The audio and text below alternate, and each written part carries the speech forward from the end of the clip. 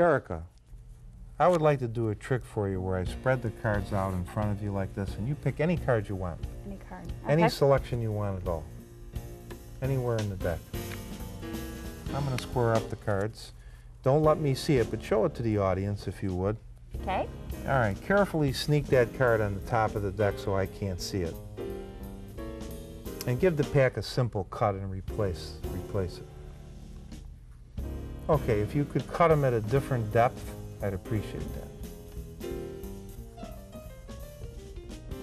Okay, so you'd have, any reasonable person would say that that's a fairly straightforward, uh, fair process. Right. It would be extremely difficult for me to, under those circumstances, to be able to identify your card, correct? Right.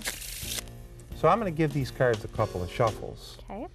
And I have to admit that sometimes I shuffle them so well that it's difficult for me to find the card. But we're going to try here, see if we can do this. Kind of shuffle them together in this fashion. Fair enough? Fair enough. And a lot of people like to see a final cut, so I'm going to give them a final cut like that. Do you see your card anywhere near the bottom of the deck here? No. No. Well, you did touch the card.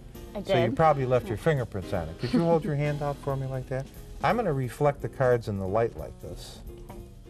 And pretty soon, I don't see any fingerprints on the nine of uh, clubs.